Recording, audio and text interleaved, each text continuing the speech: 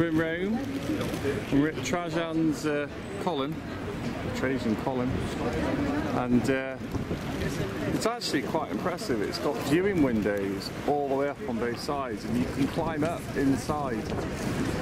It's uh, it's from many many pieces of uh, stone. I can't remember if it, I think I'd read it was 80 pieces, but there's an awful lot. If I uh, let's try and zoom in a little.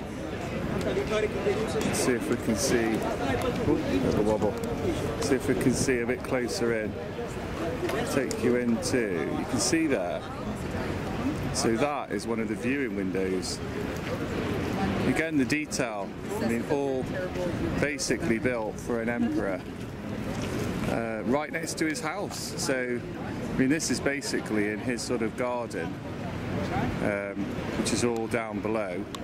If we go out again, it's uh, quite incredible because most of the columns have fallen down over time and left just this big one standing. So if I go further over, you can see down here one of the fallen columns, and then each of these square pieces were columns in themselves. And then obviously you've got there the top of the column, the bottom of another one.